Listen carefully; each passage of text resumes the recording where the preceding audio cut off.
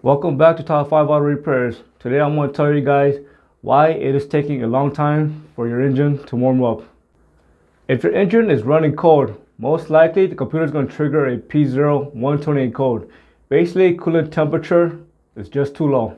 The most common problem is going to be a stuck open thermostat or the thermostat may just be missing and is not there.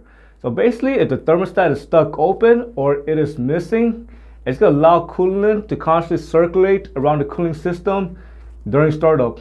It is important for that thermostat to remain closed at startup because this could allow coolant to sit inside the engine block until it reaches operating temperature and then the thermostat can open and allow it to circulate around the uh, cooling system. Because if the thermostat stays open, it's going to cause the engine to overcool and that's going to cause all sorts of issues.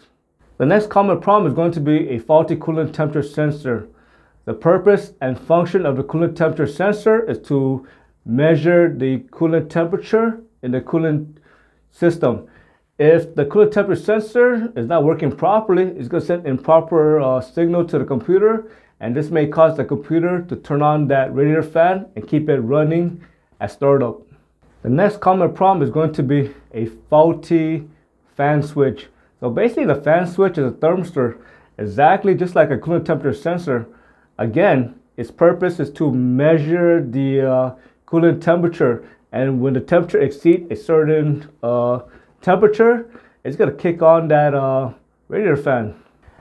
Again, if that fan switch is faulty, it's going to cause that radiator fan to constantly run at startup, again causing overcooling.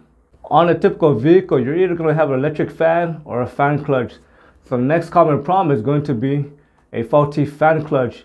If there's something wrong with that fan clutch, usually it's mounted on the uh, water pump, it's going to constantly cause the engine to constantly cool, again causing overcooling. So you suspect that you have, to, you have a faulty fan clutch, go ahead and replace it.